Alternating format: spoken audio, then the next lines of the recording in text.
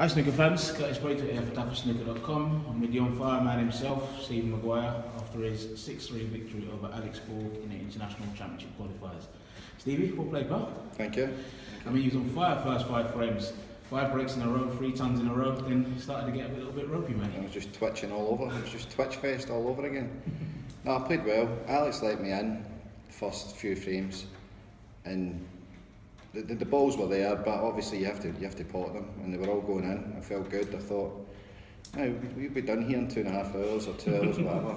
And then as soon as uh, he won a scrappy frame to go five one, it was just a different game. Then I just felt as if nothing was going on. Yeah, yeah. So I was lucky there to win that frame because that was that wasn't.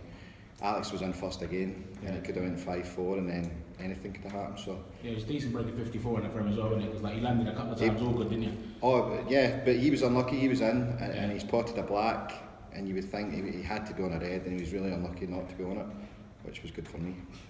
It's been a long, long, long trip away, isn't it? I mean, back in China and Thailand for Yeah. six weeks, it's been a, been a good, good, good stretch on the road. So you'd like to be near enough back home now then? Yeah, I'm ready. Um, I'm not in the European Masters, so I'm I'm, I'm glad. I'm, I'm honestly glad just now.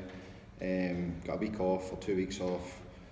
Uh, I'll not pick up my cue for a few days, just just chill out, and uh, I'll be back probably a week before the is it the English Open? It's yeah, next. yeah. yeah. Uh, I'll, I'll just start practicing maybe a week before that and uh, regroup and refresh. Good man. Well, look, Steve, I'm going to let you go and chill out, mate, because you've been away for ages, mate. Thank you. wait to get You're, you're boring me anyway. Cheers, mate. But look, Steve, all the best in China, and that was all of us, that was no good. We wish you the best, pal. Cheers, guys. Cheers, mate. bud.